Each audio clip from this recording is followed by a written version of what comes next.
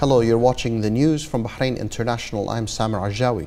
The Foreign Undersecretary for Political Affairs, Sheikh Dr. Abdullah bin Ahmed Al Khalifa, revealed that the Mohammed bin Mubarak Al Khalifa Academy for Diplomatic Studies has changed the process of preparing diplomats.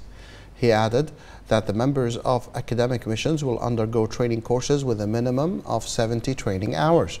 He indicated that there is a daily coordination between missions and ministries to provide them with all the information they request, stressing that all the plans and reports that the government is working on are reflected in the indicators.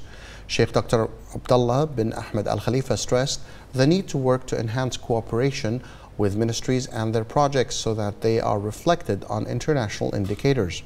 The Undersecretary of the Ministry of Foreign Affairs affirmed that the National Human Rights Plan is unprecedented at the level of countries in the region. He emphasized that all reports issued from abroad on the Kingdom of Bahrain are taken into account, studied and responded in a transparent manner.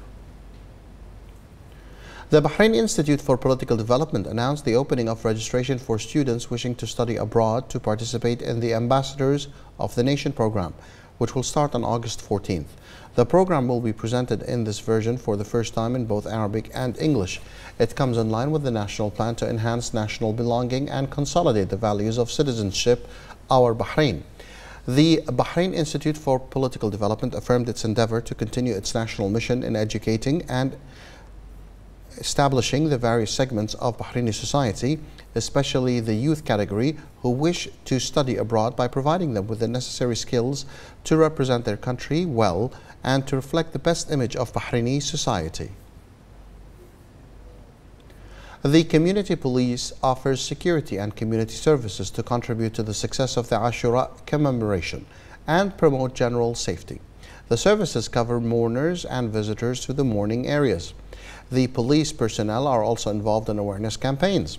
The General Directorate of Traffic had announced the intensification of traffic presence in all the streets surrounding the funerals in which the Ashura commemoration is held through traffic arrangements that contribute to the smooth flow of movement and the safety of participants and all road users based on the directives of the Cabinet headed by His Royal Highness the Crown Prince and Prime Minister to provide the safe atmosphere and the facilitation of all the needs and requirements in a manner that contributes to the success of the Ashura season and with the follow-up and directives of the Minister of Interior General Sheikh Rashid bin Abdullah Al Khalifa in order to facilitate matters related to this occasion.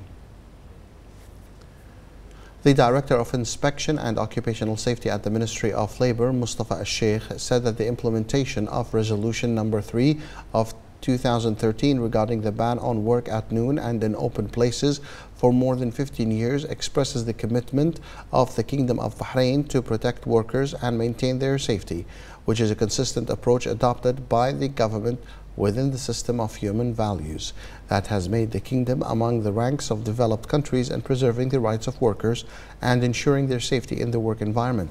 He said that the ministry had developed an integrated plan to cover the work sites in various governorates of the kingdom, noting that the aforementioned decision is applied to all economic sectors except for the oil and gas, in addition to excluding emergency maintenance work that cannot be postponed provided that the employer is committed to taking all the necessary preventative measures to protect the workers from the sun damage.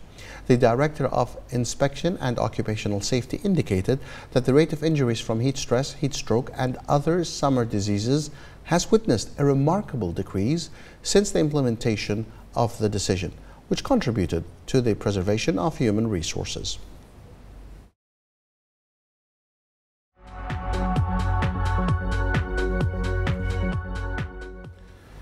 Saudi Arabia's Public Investment Fund has set up a company to invest in promising Egyptian sectors, extending a policy of pumping money into the Egyptian economy.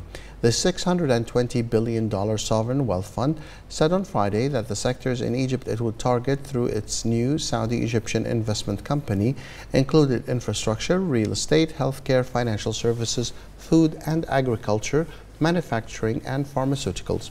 Saudi Arabia said in June it intended to lead $30 billion worth of investments in Egypt following a visit to Cairo by Saudi Arabia's Crown Prince, His Royal Highness Prince Mohammed bin Salman.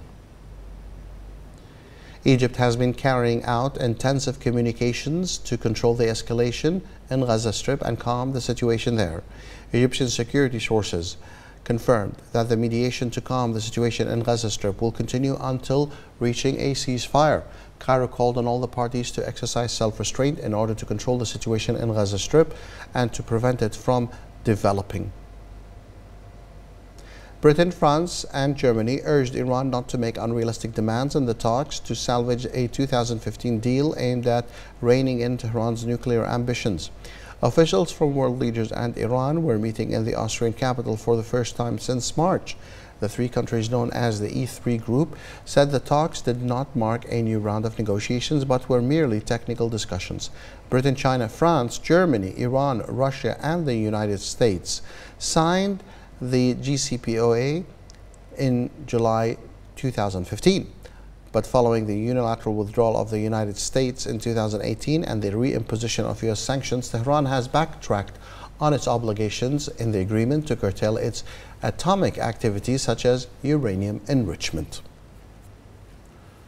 Lebanon's Banking Association, ABL, announced that the banks would go on strike starting on Monday over what it said was a buildup of populist harmful stances taken against the banking sector. The statement said the group was taking action over the recent treatment of the sector, particularly the arrest of the head of Lebanon's credit bank this week. The statement said around 49 banks plan to strike. Meanwhile, the World Bank released another report on Lebanon's dire economic crisis. The DC-based institution said a significant portion of people's savings in the form of deposits at commercial banks have been misused and misspent over the past 30 years. Clashes between armed groups erupted overnight in Tripoli, according to local media reports, the latest violence to hit the Libyan capital. Gunfire and explosions were overheard around 1 a.m. on Saturday in the city. The fighting with light and heavy weapons occurred in the El Jibs district in the city's south. Tensions have been rising for months in Libya as two prime ministers are vying for power, raising fears of renewed conflict. The clashes on Saturday were between armed groups loyal to Prime Minister Abdel Hamid Dbeiba, head of the unity government based in Tripoli, and others following his rival Fathi Bashagha, named in February as prime minister by a parliament based in Libya's east after he made a pact with Khalifa Haftar.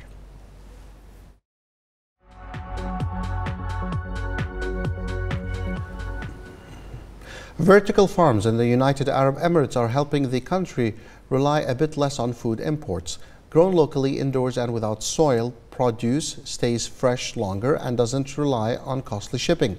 In the middle of Al Quoz industrial zone in Dubai city, an indoor vertical farm is erected across 5,600 square meters of land to produce fresh vegetables.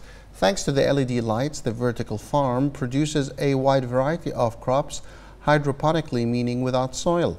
In the vertical farms, plants are growing in uncontaminated rock wool cultivation mats, so products are free from chemicals and pesticides. Also, 90% of the water irrigating the plants is recycled to be reused. With severe challenges from climate change, the COVID-19 pandemic, and the disruptions in the global supply chain, food security is considered a key national priority for the UAE government, which is trying to increase the food production by 30 to 40 percent in the coming 10 years.